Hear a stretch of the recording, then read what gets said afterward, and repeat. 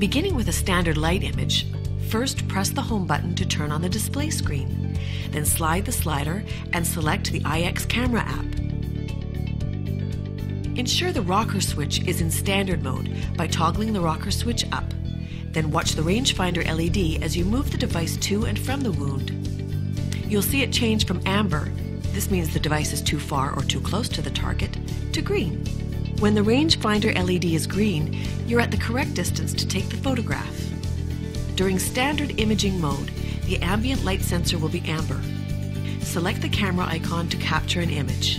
You can improve the autofocus by manually tapping the screen on the exact area you want in focus, and a focus square will appear. Press the Capture Image button for a still photograph.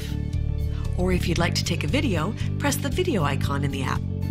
Then tap the screen to obtain focus, then press Start Recording.